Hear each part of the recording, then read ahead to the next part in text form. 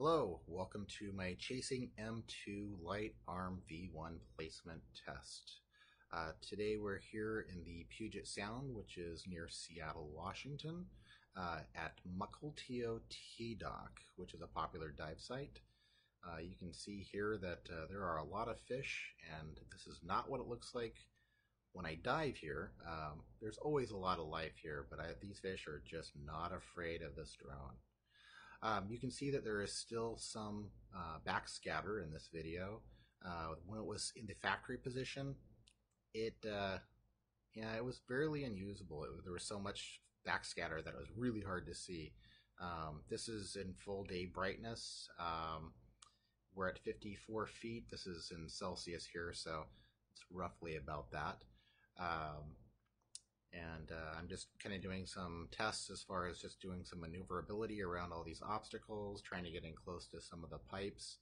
A uh, lot of life here. Really like this dive site. Uh, I just tipped the unit kind of on its side a little bit to make it look level, but this is actually on a good slope.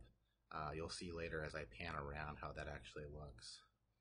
Uh, you'll see in the upper left hand corner here uh, a quick view of what that nacelle looks like that the lights are sitting on. Um, they just stick out a little bit further, move it further away from the lens, which gets rid of some backscatter and helps me angle the lights a little bit more. Um, you definitely can see how I'm still getting full range of light. It kind of teeters a little bit towards the top, but again, that's because it's angled.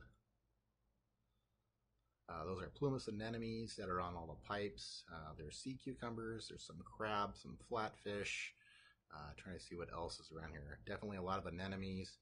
Um, wonderful site.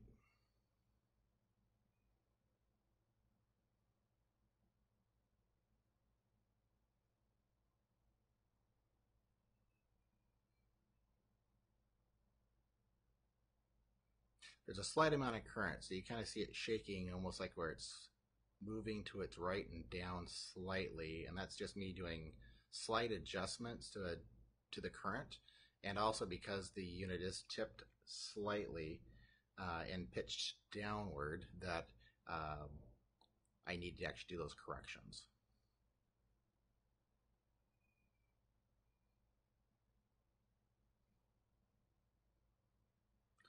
As I pull away, you can start to see more of the ambient light, what it looks like in the background versus what's coming off from the lighting from the M2.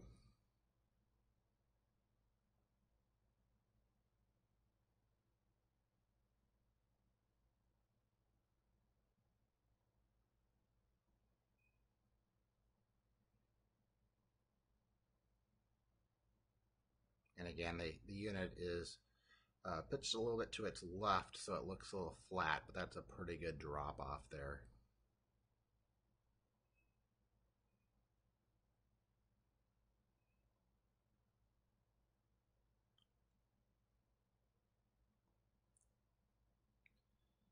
That's the deep line. That actually travels slightly northerly and drops down to about 120 feet to some more underwater uh, artificial reefs. Uh, I was going to head down there, but then chose it probably wasn't the best time to do that, and I should probably stick around the dome. Uh, you can definitely see how it darkens very, very quickly going down that slope. Uh, probably can see down to about 80 feet at that particular point.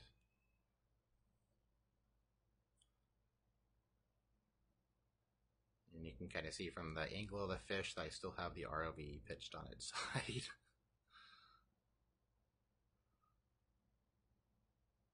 Pretty deceptive.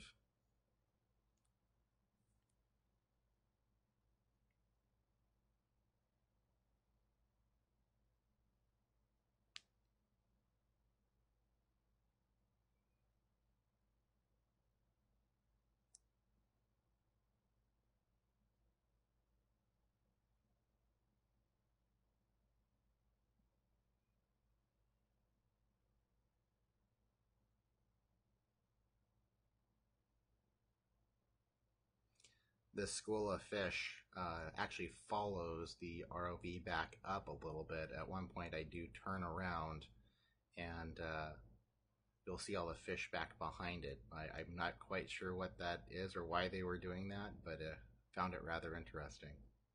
Uh, you can see the limited sight distance sign. That's the marker for the deep line. Uh, it was just, well, would have been about 180 degrees from where we're at currently.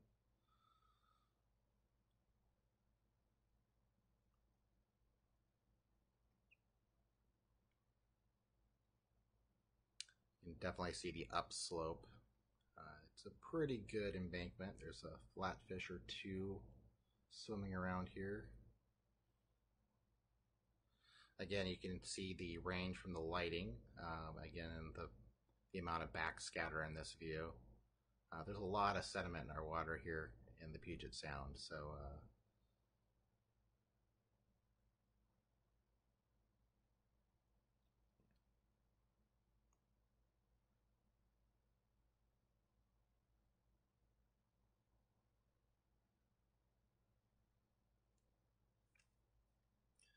there's a lot of work being done at this dive site uh, by the uh, oh, Friends of Mukilteo. Um, so actually,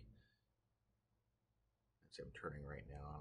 I believe when I pan back down, because I'm up in depth quite a bit from where I was, you can actually see the fish that we're following. Just kind of panning around and stopping and just seeing how the unit actually held true to its spot versus the uh, current that's actually in play here. All those moving particulates is the current. I think we're at a 0.1 or somewhere right around there knots. It's not not a lot, but you can definitely see it moving. And there's the fish. They decided to follow me. I thought that was rather interesting. I've never noticed that diving, so I must be the uh, motherfish. You can kind of see the dome back to the right there a little bit. They didn't stray too far away, or maybe they're just naturally out there, but I didn't see them on the way down. Uh, here you can see part of the stuff that's being worked on at the Mukilteo site, and that's uh, George's Rock uh, Wall. I don't know what they're actually officially calling it, but it's just a way to find your way out to the geodome. Um, got some natural breaks and stuff for uh, snails actually go back and forth through there and other uh, wildlife as they get back and go back and forth. Moon snails is what I'm thinking of here. Uh, they put a lot of work into this. I can definitely see as we shallow up here how it gets uh, less visibility. Grab, and that's the safety line at 25 feet, and uh, the vis was really bad above 25 feet. It gets much worse here in the video. You can see the wall kind of tapers a little bit here, and it gets very difficult to see. Um, so at one point, I was having a, getting a lot of questions from people at the surface, so where I was standing, I should say, and uh, uh, was having some conversations with some people. So didn't want to keep running to the ground, and it was kind of hard to see. So I finally just shallowed up the drone a little bit, and then got my compass heading and came in using the instruments. Um, the funny thing was, uh, my buddy George, who's been doing a lot of work on this, was out there diving. He was diving just in case, uh, well, doing some maintenance work, obviously, but also just in case I got snagged. I wanted to make sure somebody was out and available. Um, but as I came cruising back in, I, I, literally out of the entire ocean almost ran into him.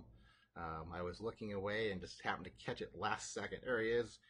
And oh crap, almost hit him, backed up a little bit, and tried to keep the tether out of his way as he was digging for a rock. He's probably pulling more rocks out to add to that trail. So more power to you, George. That pretty much conclu- concludes the light test. Uh, you can really see the visibility was bad. We can still see George, but just barely. I think he had a hard time with focusing in this area, and I'm probably not more than 10 feet away from him here. Um, but again, just didn't want the tether to be pulled behind me and then lap up on him. And that really concludes the video. Thanks for watching.